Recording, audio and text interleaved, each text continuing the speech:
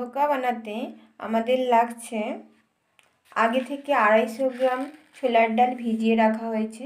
ভেজানোর পর ছোলার ডালটা ঠিক এতটা হয়ে গেছে।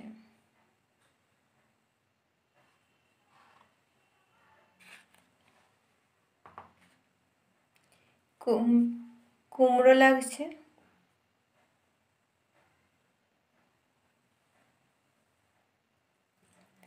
আদা লাগছে। স্বাদ অনুযায়ী আপনি লঙ্কার মাত্রাটা কম বা বেশি করতে পারেন। আমি এখানে চার পাঁচটা লঙ্কা, কাঁচা লঙ্কা ব্যবহার করব।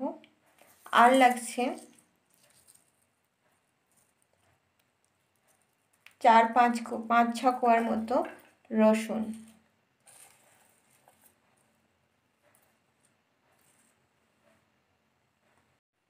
ভাজার জন্য তেল লাগছে। আর লাগছে স্বাদ অনুযায়ী লবণ।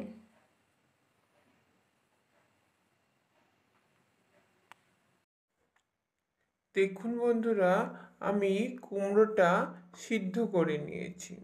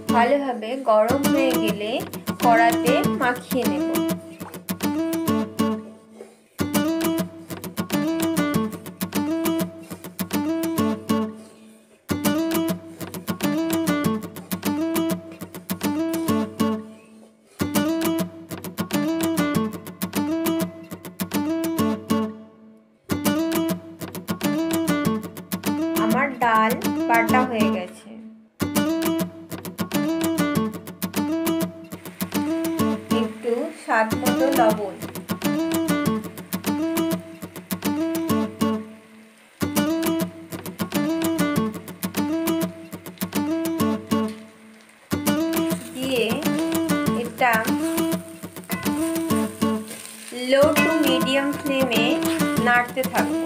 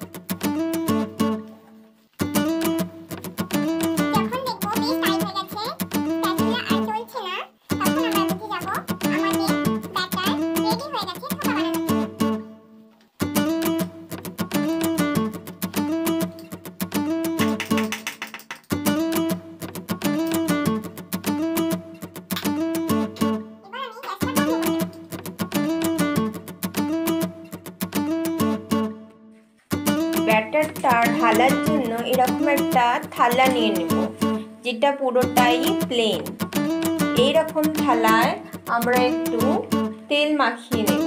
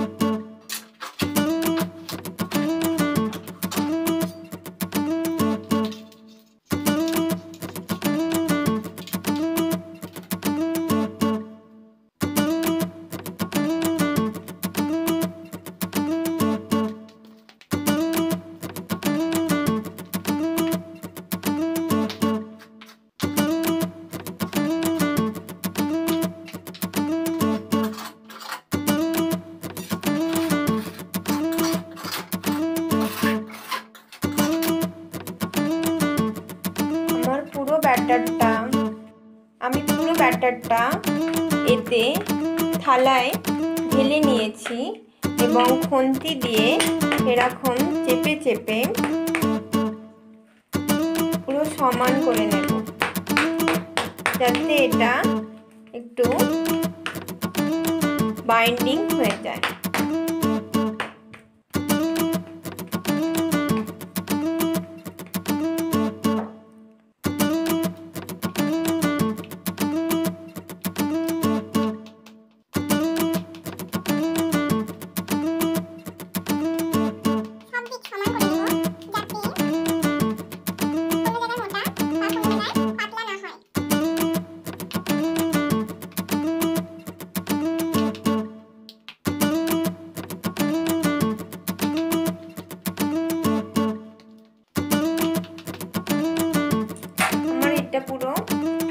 এবার ঠান্ডা হতে এবার আমি এটা কড়া নিয়ে নিয়েছি এবং কড়ায় একটু তেল দিয়ে দেব ভাজার জন্য।